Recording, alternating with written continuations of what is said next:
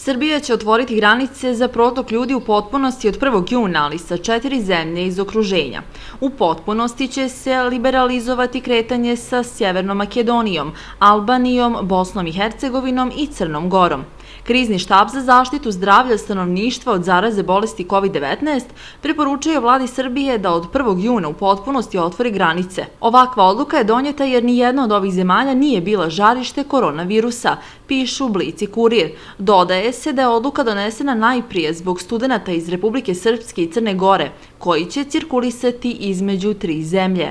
Granice Srbije za drumski, železnički i rečni saobraćaj zatvorene su od 20. marta. Kada je riječ o dolasku u Srbiju, vlada Srbije odlučila da negativan test na virus bude uslov za ulazak u zemlju, odnosno slobodno kretanje.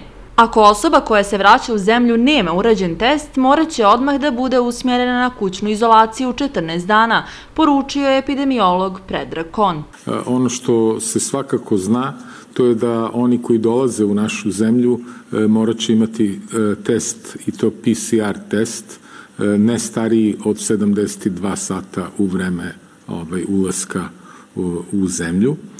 Ukoliko ga nemaju, onda mora da se sprovodi zaštitna mera e, samoizolacije ako se, naši, ako se radi o našem građaninu ili e, karantin, uslovno takođe e, izolacija uz zdravstveni nadzor za ovaj stranog državljanina ili da e, učini i sačini test na našoj teritoriji, pa onda u tom u slučaju ukoliko je negativan da ne mora više da bude pod takvim nadzorom. To je načelno, ali nije još u pisanoj formi, to će sutra tek da se usvoje.